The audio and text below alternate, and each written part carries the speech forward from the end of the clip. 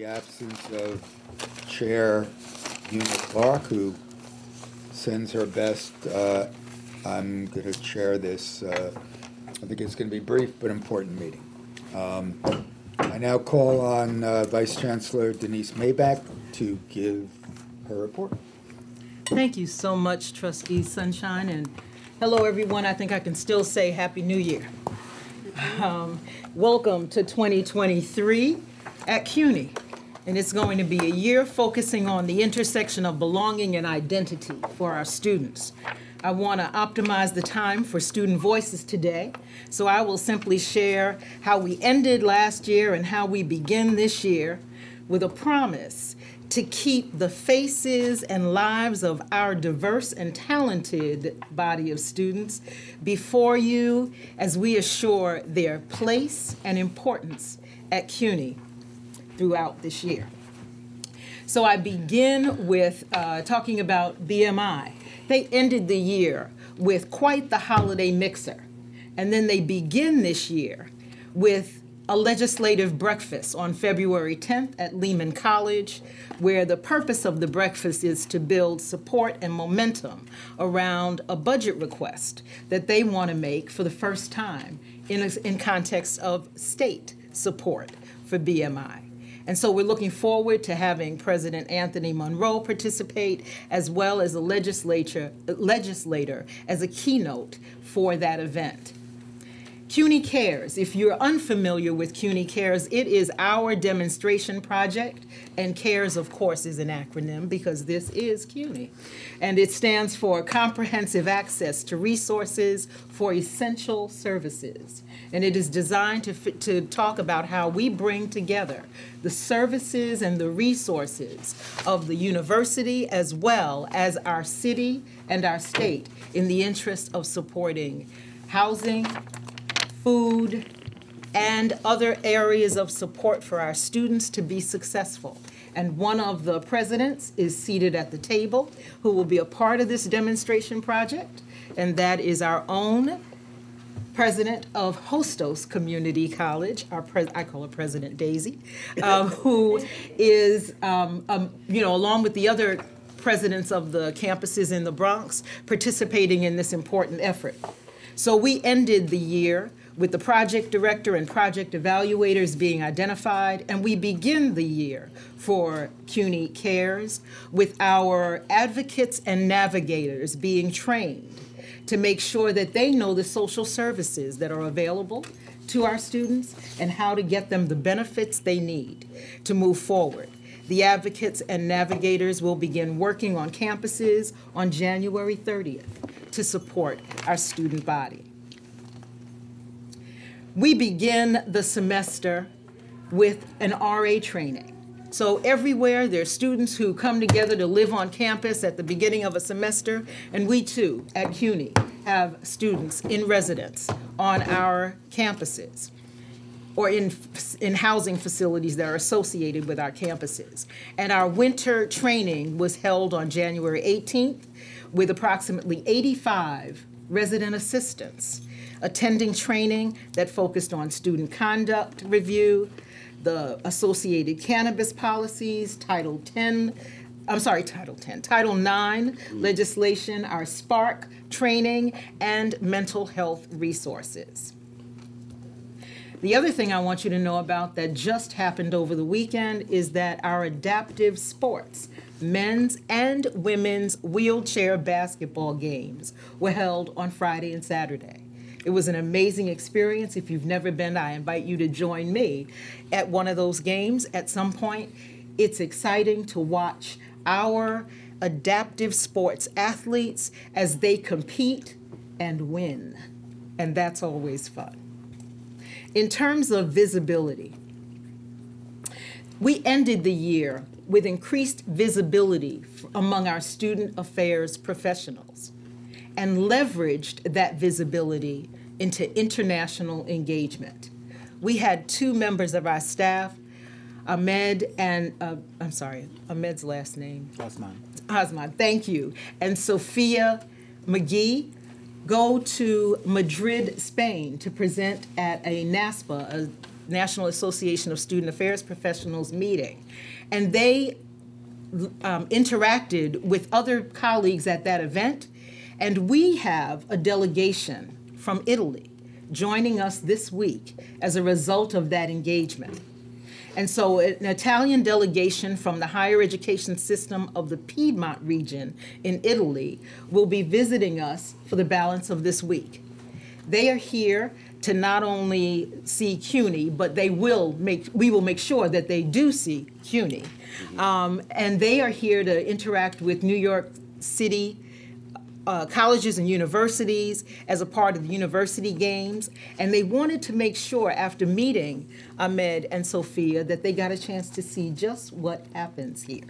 So we're going to show them something they may be less familiar with and make certain that they see one of our community colleges. So they will be visiting Borough of Manhattan Community College this week. They've invited us to meet with them as well in an, a presentation that they want to do. So we will be attending that. But it's a great opportunity for CUNY to have been visible on an international level for student affairs and to now engage with colleagues from around the world. In terms of our veterans populations, I want you to know that um, on November 4th, we ended the year with an outstanding program at the uh, Graduate Center that looked at the plurality and diversity of our military services. And it was an outstanding event, well attended. And we begin the year with me being able to share with you that we have a grant from the Bob Woodruff Foundation for $83,000 to improve psychological wellness and academic outcomes for student veterans across our campuses. That's the ninth time we've been able to secure that funding from that resource. On throughout the the last semester, PROVE served 588 unique student veterans and will continue that effort with this additional funding. Beginning on February 1st, the Veteran Peer Mentor Initiative will collaborate with the Veteran Administ- Veterans Administration in providing, providing CUNY peer mentors with training that's titled, entitled Taking Charge of My Life. And it's designed to offer motivational interviewing skills, cultural competency training, suicide prevention uh, resources, and basic counseling efforts. After completion of this particular training, our students will be eligible in a train the trainers model. In terms of other awards that and honors that I want to recognize, Cynthia Carvajal, our interim director of immigrant student success, was honored on January 18th as the recipient of the Ellis Island Honor Society Beacon Award, recognizing her demonstrable vision and innovation as an immigrant in advocating for immigrant student causes. She is also offering a two part workshop this semester for career counseling for undocumented students. And our intercultural engagement and student dialogues uh, division has received a grant of $50,000 from the Aronson Family Foundation for the work that they are engaged in. So those are just a few things that ended the year and now begin the year as we look at what is happening for students at, at the City University of New York. So thank you. Thank you so much. okay, we're formal business part is will be brief. Um, action item two the approval of the minutes of the October third, twenty twenty two meeting. I move the approval of action item 2A. Do I have a second? Second. Discussion? Uh, And we'll vote. Uh, All in favor? Aye. Opposed? Abstentions? Passed unanimously. With no more action items on the policy calendar, I now move to the information items on the agenda. We will now have the NYPIRG, New York Public Interest Research Group Annual Report. I invite Vice Chancellor Maybank to introduce the representatives from NYPIRG. NYPIRG. So we have with us th- today um, a few of our students from so I'm not sure who wasn't able to make it, so I'm gonna. College. I'm sorry? Queens. Queens College, okay, so, but I'm gonna call everyone's name. So we have from Brooklyn College, Damian Andrade, Yes. okay? And from Hunter College, Isabella Grulian, Yes, here. have I pronounced it right? Grujon. Guru, Gurujon. Gurujon, I'm sorry, I apologize. And the person who could not join us today is from Queens College, Harpreet Kaur. Okay. And so um, I'm going to turn it over to the director for NYPIRG, to Farouk Abdallah. Uh, thank you. I actually want to turn it over to our student Damien. Okay. Yes. Hi, everyone. Uh, my name is Damien Andrade, and I'm an intern with NYPIRG. I'm a freshman and a political science major at Brooklyn College. I've been a proud member of the BMCC College NYPIRG chapter since June of 2022, and continuing my work um, at Brooklyn College. I am grateful to share my experience with you, as well as some of the highlights from our annual report. Founded by a group of Queens College students in 1973, NYPIRG has been a vehicle for students to learn important leadership and civic skills. Personally, NYPIRG has been a space where I can expand what I'm learning beyond the classrooms in, the ha- in a hands on way. NYPIRG students learn public speaking, research skills, um, blanked out, sorry uh, research skills and event planning and working with other organizations. Involvement with NYPIRG allows students to get involved in policy issues of interest, such as public health, protecting the environment, empowering students to vote. That involvement also allows students to learn and apply leadership and civic skills. In many ways, NYPIRG provides a unique opportunity not found in other educational settings, teaching students about civic responsibilities and understanding the realities and threats to democracy and how best to have our opinions heard. NYPIRG is a nonpartisan, statewide nonprofit founded and directed by students. We empower students through a host of programs to engage their passion and develop personal and interpersonal skills through organizing, advocacy, and fruitful dialogue. We have an internship program where students can earn class credits, participate in semesterly conferences, um, public workshops, and events. Like most student groups and services, NYPIRG is funded through, uh, through the student activity fee that was approved through a campus-wide uh, refer, uh, referendum. Uh, NYPIRG offers refunds to any students who prefer not to have their uh, portion of their activity fee used for such programming. We submit activity reports to each college president, to campus libraries for public access, and the Board of Trustees. With the COVID 19 pandemic and resulting into a hybrid of remote and on campus learning created unique challenges. Despite these challenges, NYPIRG was able to successfully adjust its student outreach and activities to offer in person and remote programming, continuing to offer these dynamic opportunities for CUNY, uh, CUNY students. As I mentioned earlier, NYPIRG works on a wide range of projects and events uh, decided by student by the student boards of directors. I will highlight a few events here. Events. With the aid of at least one full-time coordinator, students plan and participate with in-person and digital events hosted on video streaming services. Students also participate in numerous events that connect them with community leaders such as New York Congressional Representative Jamal Bowman, New York State Senator uh, Jabari Brisport, Judith Enck, and President and Beyond Plastic and former EPA Region 2 Administrator and CUNY Vice Chancellor Dr. Denise Maybank. Um, and uh, Atik Kayan. Khan, sorry, um, from New York Communities for Change, connecting interest students with community needs.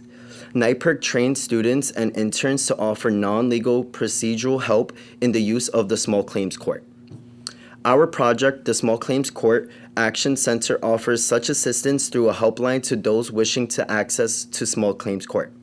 Students also involve themselves in community activities through its promotion of information about mutual aid resources, community food drives, menstrual product drives, and participated in a beach cleanup day at Coney Island. Voter registration, voter empowerment, and energizing the student vote. we conducted a nonpartisan voter registration drive to assist thousands of CUNY students with registering to vote or confirming their voter registration status with the Board of Elections. Shared voter resources including early voting information and an absentee voting 101 guide. Organized get out to get out the vote efforts to turn out students' votes to the polls for the 2021 general election and the 2022 state and congressional primaries and participated in the National Voter Registration Day. Um, in closing, through my involvement with NYPIRG, I spent the last seven months making a difference in my community and city. My involvement as a board, mem- me- board member enables me to continue to commit to my passions and to be an ethical and consistent leader. We hosted many events on campus, ranging from registering college students to vote to events outside the campus to advocate for our uh, issues. After the turbulence of the past seven months, I am grateful to know I have a community to lean on and work with when shaping the future that I want to see. I am uh, I am grateful to know. Oh, my time at NYPIRG isn't over, but just had begun. I am transferring from BMCC to Brooklyn College to pursue my involvement with NYPIRG. I want to thank you, the Board of Trustees, for uh, continuing to invest in students who come from every borough through your support of groups like NYPIRG. Thank you.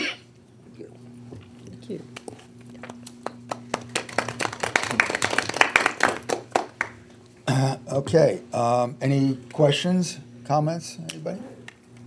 Hi, uh, my name is Maureen Matarese. I'm the University Faculty Senate Representative, and I'm here uh, in place of Hugo Fernandez today.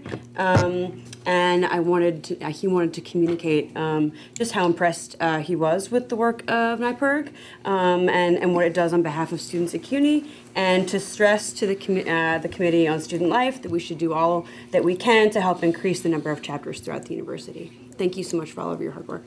Thank you. I'll just say it's was a long time ago, many moons ago. I was a NYPIRG student, and I'm glad to see you're still doing all that great work. So keep it up.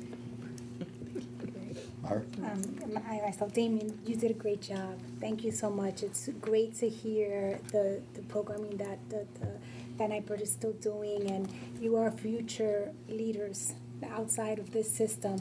Um, and we're so proud that you're making these efforts and, and supporting other students. So congratulations. Uh, excited to see you on the outside uh, networking around too. So congratulations. Thank you. Anybody else? Oh, I'd just like to say, present and future leader. Mm-hmm. Congratulations. Thank you. Thank you so much, you're, you're terrific. You, you wanna run for office, like now? Higher can you win?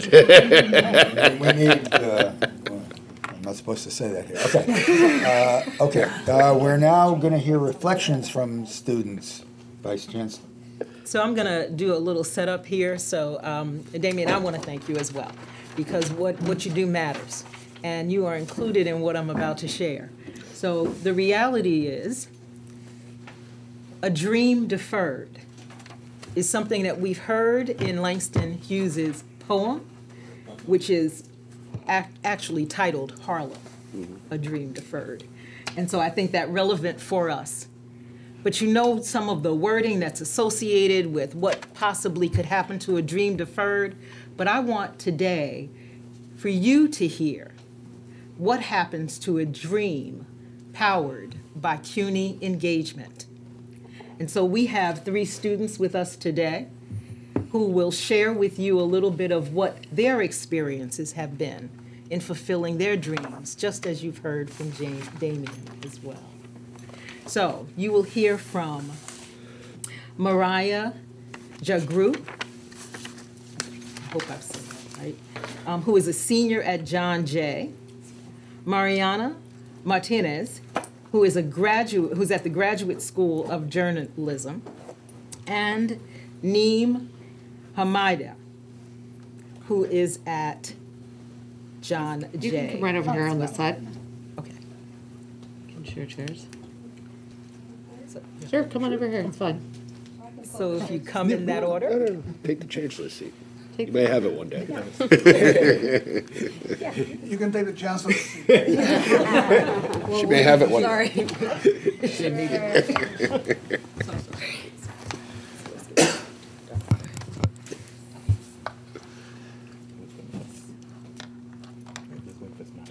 Yeah.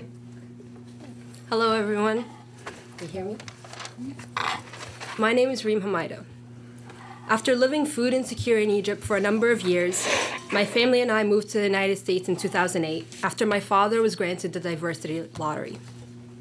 I recently graduated from John Jay College, summa cum laude, with two majors in political science and philosophy, and a certificate in dispute resolutions. Thank you. Two weeks after graduating, I received a job offer from the Arab American Family Justice Center. Working with domestic violence survivors as a case managers and help case manager and helping raise my family above the poverty line. I'm also in the process of applying to law school. Thanks to CUNY BMI and the Rising Scholars of Justice pre-law pipeline program. The RSJ program, funded through CUNY BMI, provided me with free law school admissions courses, mental health services, and mentors to assist me through the strenuous law school admissions process. Through the program's assistance, I scored a 169 on the law school's admissions test, scoring within the 95th percentile of test takers. So far, I've had the honor of being accepted to Brooklyn Law School with a $189,000 scholarship and the University of Houston Law Center. In addition, in addition, I, inter- I interviewed with and I'm waiting to hear from the University, Washington University at St. Louis, the University of Texas at Austin, and Cornell Law, among many others.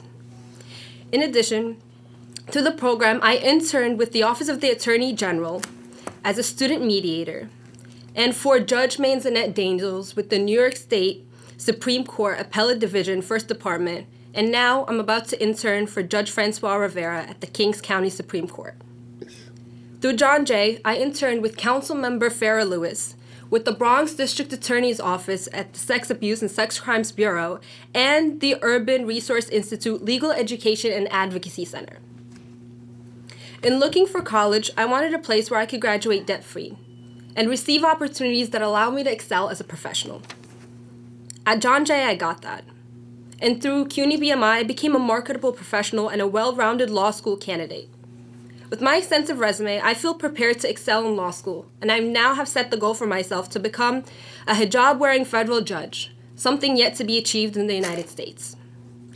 As a first generation Muslim immigrant woman from Egypt, I can honestly say that I would not be here sharing my story with you all had it not been for the program's help.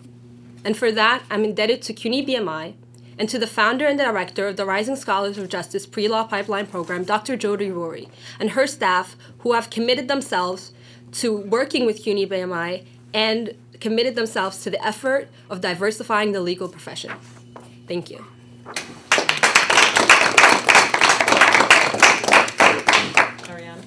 Hello, everyone. Uh, my name is Mariana Martinez Barba. I'm currently a second semester student at the Craig Newmark Graduate School of Journalism at CUNY. So that's quite a mouthful to say. Um, so I'm actually a second semester student within the bilingual program, and that's actually a really unique initiative within the journalism school that really compelled me to go to grad school for journalism. But I kind of want to go back a little bit and talk about my trajectory and how it's brought me here today to CUNY. Um, so I grew up in a Mexican American household in San Antonio, Texas. Uh, so that really informed my multicultural identity as well as ability to speak Spanish at home and with my greater community. Um, so, kind of with that in mind, I went on to study sociology at Occidental College in Los Angeles. And while I was doing that, I was also pursuing music journalism without really realizing that it was music journalism, sort of covering bands, concerts, things of that sort. And uh, as I did my undergraduate thesis, I went on to do a really extensive research project about the impacts of public policy on nightlife in Sydney, Australia. So I was kind of marrying my interests for uh, arts and culture along with my academic interests in researching engaging with communities, reporting. Uh, obviously, at the time, I didn't really see the connection between sociology and journalism. So, like many people who leave undergrad, I was a bit lost. I didn't know what I was going to do with myself, but I knew that I had a calling for storytelling and for community engagement. Um, so that led me to go abroad to Madrid actually for a year where I taught English. Uh, I worked in marketing for two years. I realized that sort of storytelling was really inauthentic, and I knew that it was time for me to go back to school. Uh, however, I was a first generation student, so I had little guidance as to what graduate school studies looked like, but I knew I was resourceful. Uh, so I went on to be accepted to USC, UC Berkeley, UT Austin, and CUNY. And what I love so much about the CUNY Journalism School is that it had an edge from the moment I looked at the website, especially looking at the bilingual journalism program. Uh, not only was I gonna learn how to be a very rigorous reporter in English, but also in my native Spanish. Uh, I thought that was a challenge that wasn't being presented to me at the other schools that I was applying to and accepted at. Uh, and with that, I also just want to talk about how the journalism school they were very receptive to my application. They walked me through the process of applying to grad school and were there for all the you know questions doubts that i had going into the program especially as someone who grew up in the united states and kind of considered spanish as a second language. Um, so kind of talking about my experience at the journalism school now i just want to say that cuny and the craig newmark school is so unique in the sense that they have us reporting in the most rigorous way in the most important way, which is locally. So they assign us uh, a community at the very beginning of the semester, and I've actually been doing pretty extensive reporting on the Puerto Rican population within Williamsburg and how they continue to fight ongoing gentrification. Uh, and with that, you know, I've been able to improve my speaking, communication, writing in Spanish, which at the end of the day is going to give me such an edge when I apply to jobs and I have, you know, high hopes working in Spanish language media, eventually becoming a foreign correspondent. But I think if there's one thing that CUNY has taught me is that there is a lot of value in the sort of community that you can have within these schools. Uh, the financial support has been incredible as well. You know, I received a scholarship. I'm actually a resident of California, and Berkeley still didn't add up in terms of numbers. So for you to all know for out of state students going to the journalism school specifically, it's actually a lot more affordable than the majority of graduate schools in journalism. I will say that. And uh, yeah, I'm just very, very grateful for the opportunity to speak with you all about my experience, and I'm looking forward to continuing on with my second and third semester. So, thank you. Good afternoon. My name is Mariah Jagroup, and I've been a part of the CUNY BMI program at John Jay College of Criminal Justice for three years, and the program helps to diversify the legal profession. Funding the CUNY BMI Rising Scholars of Justice program is important because it allows us to produce diverse and culturally sensitive lawyers to access social justice for our community, and it allows our communities to also grow well. I'm a senior at Macaulay Honors at John Jay, majoring in political science with a double minor in psychology and Latinx honors. I'm a first generation Guyanese daughter of immigrants. Growing up in a low income family was difficult. I wore twice recycled donated clothing. My parents' job options were limited since they'd never received any higher education. And I didn't have the luxury of having lawyers in my family or anyone who could advise me on college or graduate schools. I also never met anyone that looked like me with similar experiences or desires. Once I joined the BMI Rising Scholars of Justice program, under the tutelage of Dr. Jody Rory, I knew what was needed of me to thrive in college and what I had to do to get into law school.